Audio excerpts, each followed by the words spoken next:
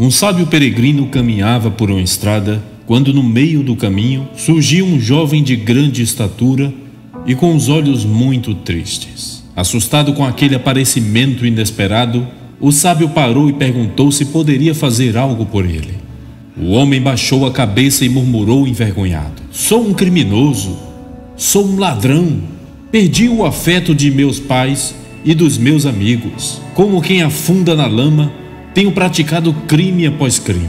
Tenho medo do futuro e não sinto sossego por nenhum instante.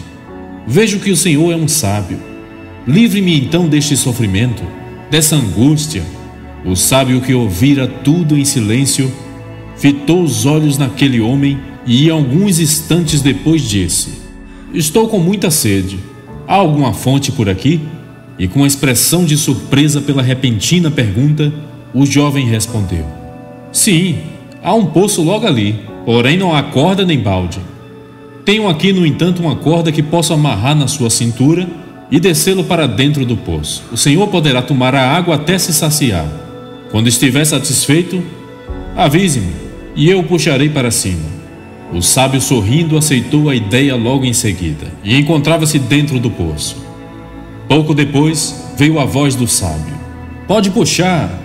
O homem deu um puxão na corda, empregando grande força, mas nada do sábio subir. Era estranho, pois parecia que a corda estava mais pesada agora do que no início. Depois de inúteis tentativas para fazer com que o sábio subisse, o homem esticou o pescoço pela borda, observou a semi-escuridão do interior do poço para ver o que se passava lá no fundo. Qual não foi a sua surpresa ao ver o sábio firmemente agarrado em uma grande pedra que havia na lateral. Por um momento ficou mudo de espanto, para logo em seguida gritar zangado: Ei, que isso? O que faz o senhor aí? Pare com essa brincadeira boba. Está escurecendo. Logo será noite. Vamos. Largue essa rocha para que eu possa puxá-lo.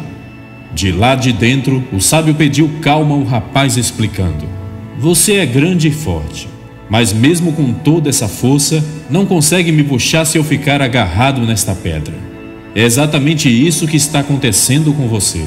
Você se considera um criminoso, um ladrão, uma pessoa que não merece amor e afeto de ninguém. Encontra-se firmemente agarrado a essas ideias. Desse jeito, mesmo que eu ou qualquer outra pessoa faça um grande esforço para reerguê-lo, não vai adiantar de nada. Tudo depende de você.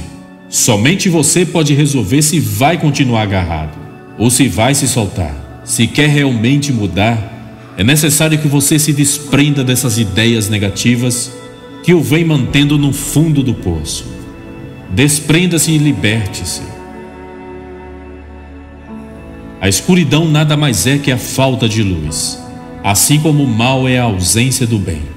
Quando pensamentos negativos turvarem nossos pensamentos, ocultando nossos melhores sentimentos, que possamos buscar a luz da verdade em Deus. Reflita nisso.